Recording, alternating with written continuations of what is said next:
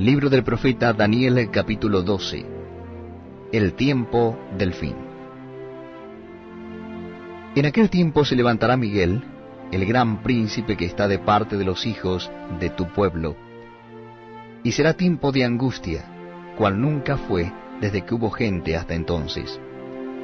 Pero en aquel tiempo será libertado tu pueblo, todos los que se hallen escritos en el libro y muchos de los que duermen en el polvo de la tierra serán despertados, unos para vida eterna, y otros para vergüenza y confusión perpetua. Los entendidos resplandecerán como el resplandor del firmamento, y los que enseñan la justicia a la multitud, como las estrellas a perpetua eternidad. Pero tú, Daniel, cierra las palabras y sella el libro hasta el tiempo del fin Muchos correrán de aquí para allá, y la ciencia se aumentará. Y yo, Daniel, miré, y he aquí otros dos que estaban en pie, el uno a este lado del río, y el otro al otro lado del río.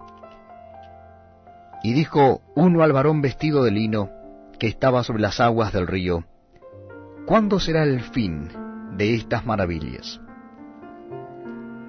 Y oí al varón vestido de lino que estaba sobre las aguas del río, el cual alzó su diestra y su siniestra al cielo, y juró por el que vive por los siglos, que será por tiempo, tiempos y la mitad de un tiempo.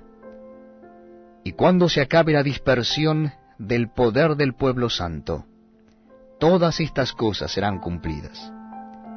Y yo oí, mas no entendí y dije, Señor mío, ¿cuál será el fin de estas cosas?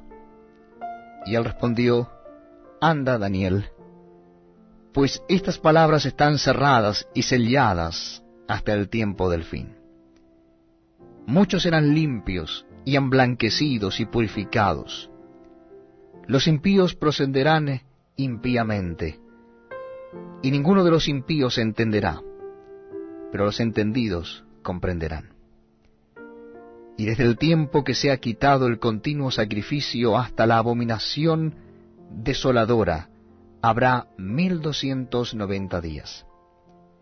Bienaventurado el que espere, y llegue a mil trescientos treinta y cinco días. Y tú irás hasta el fin, y reposarás y te levantarás para recibir tu heredad al fin de los días. Fin del libro de Daniel.